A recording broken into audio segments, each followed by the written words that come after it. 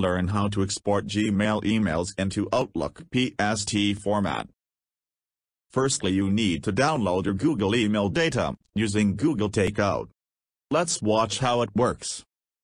Log on to your Google account, and click on Profile icon. Then click on My Account option. From the next window, go to Personal Info and Privacy panel, and select Control Your Content.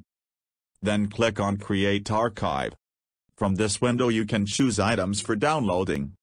Click on Select None for deselecting all. Now scroll down, and enable Mail option, for downloading email data.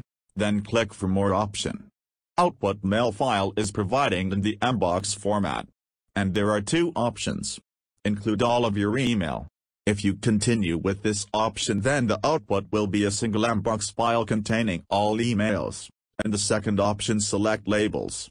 Here you can select required folders and the output provide different mbox files for each labels.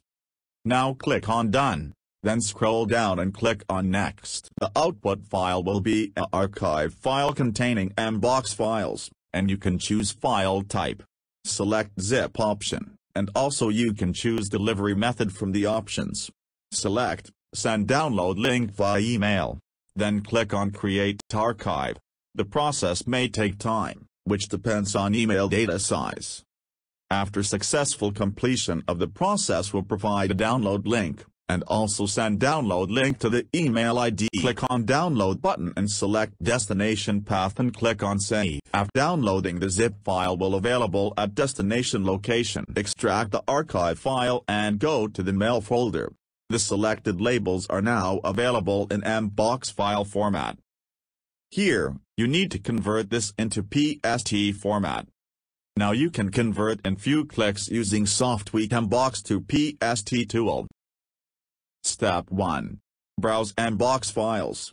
Now you can convert multiple Mbox file into single PST file using this utility. Click on Open. Step 2. Select PST format. By default tool selected PST format.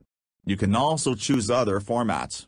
And third step select destination folder for saving output PST file. Also you can change output PST file name. Now click on Save and go for Convert option. The tool will provide live status report, and successful completion of the process will give message as conversion completed successfully. Now go to destination folder for outcome. If you want to open this file in MS Outlook, then click here. Thank you for watching.